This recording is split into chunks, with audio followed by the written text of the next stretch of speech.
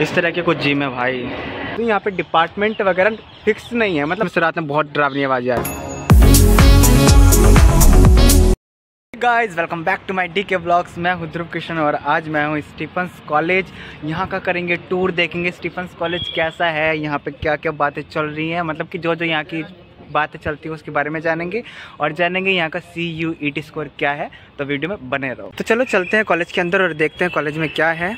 इस side sport complex है घुसते के साथ ही ये सामने और ये बैंक वैंक अंदर यार एटीएम वगैरह जो देख रहे हैं ये पूरा साइंस ब्लॉक आपको दिखाता हूँ अभी रुको एक मिनट। ये पूरा साइंस ब्लॉक है। ये पूरा साइंस ब्लॉक तो एक बात मैं आपको बता दूँ यहाँ पे डिपार्टमेंट वगैरह फिक्स नहीं है मतलब बटे हुए नहीं है कुछ कुछ क्लासेस दे रखी हैं जैसे कि कॉमर्स की अलग कंप्यूटर्स की अलग फिजिक्स की अलग।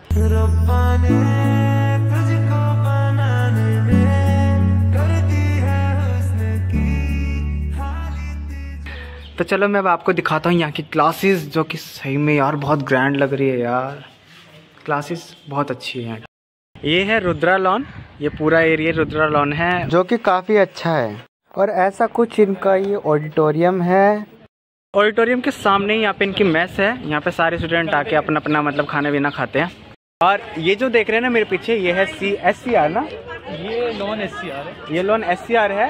यहाँ पे आपके सीनियर बैठते हैं। सीनियर्स का ये कॉम्बिनेशन है हाँ हाँ मैं आपको दिखा मतलब देता बच्चे ज़्यादातर रहते हैं सीनियर्स तो क्या कहते हैं बच्चों के लिए जैसे हर दिन कोई भी आता है तो सिर्फ़ बच्चे यहाँ पे इंजॉय करते हैं और अभी मैं आपको दिखाने जा रहा हूँ यहाँ की लाइब्रेरी देखते हैं कैसी है धमाकेदार। वैसे तो लाइब्रेरी यहाँ की धमाकेदार ही होगी। देख लेते हैं। हाँ, देख यहाँ लेते हैं। पे मतलब सिक्सटीन सेंचुरीज की बुक रखी।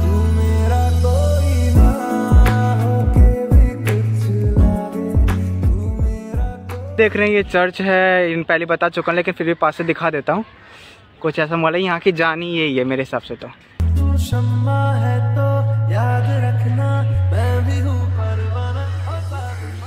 और चर्च के तीनों साइड आप जो देख रहे हैं ये हॉस्टल्स हैं। ध्यान से देखिए। के साइड साइड में बॉयज़ हॉस्टल इसलिए इन्होंने बनवा दिए होंगे कि ये थोड़ा सा धार्मिक माहौल में रहें लड़के बिगड़े ना शायद इसलिए तीनों तरफ़ बॉयज़ हॉस्टल बनाए और गर्ल्स हॉस्टल साइड में।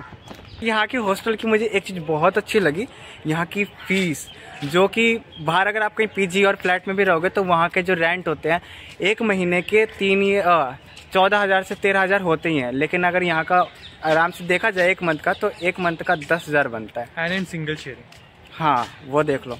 सिंगल रहो और अच्छे रहो। और अभी मुझे खतरनाक बात सुनने को मिली, जो मैं अभी आपको कुआ दिखाने वाला हूँ। यहाँ पे से रात में आती भाई, बहुत खतरनाक आवाज़ है। इस कॉलेज का सबसे डरावनी, डरावना एरिया है और देखो, ये है सामने एक कुआ, जो जिसमें से रात में बहुत डरावनी आवाज़ आती है। और ये है यहाँ का कैफेटेरिया मैं आपको दिखा देता हूँ अंदर से किस तरह का है। कुछ इस तरह का है ये पूरा कैफेटेरिया मैंने कभी एक्सपेक्ट नहीं किया था कि यहाँ पर मॉर्निंग असेंबली हुआ करेगी। For first year morning assembly भी होती है। मतलब शुरुआत के एक साल में तो आपको लाइक स्कूल का फील आने वाला है। वही मैं कहने वाला था। तो आपका कोर्स और सी क्या था? मेरा कोर्स फिजिक्स ऑनर्स है। मैं फ़र्स्ट ईयर से हूँ और मेरा सी यू टी स्कोर था 516 आउट ऑफ़ 600 वाह भाई वाह। अभी चल रहे हैं हम स्टीफन्स कॉलेज की जिम में। यहाँ की जिम बहुत अच्छी है। अब मैं आपको दिखाता हूँ क्या है। इंडोर जिम है मैं दिखाता हूँ अभी देखो इस तरह के कुछ जिम है भाई।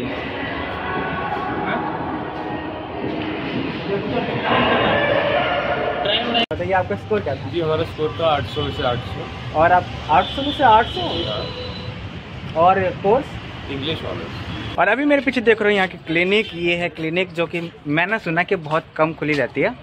बाकी पता नहीं। तो बस ये वीडियो मैं करता हूँ यहीं पे एंड अगर वीडियो अच्छी लगी हो तो लाइक कर देना, बहुत ज़्यादा अच्छी लगी तो सब्सक्राइब कर देना। फिर मिलेंगे एक अगली वीडियो में, जब तक के लिए बाय बाय प्लीज़ सब्सक्राइब करके जाना, ठीक है ना?